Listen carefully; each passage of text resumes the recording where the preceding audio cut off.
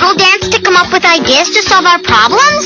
Uh-huh. Whenever we do our noodle dance, you dance like crazy. You're not a bad dancer. You just think you are.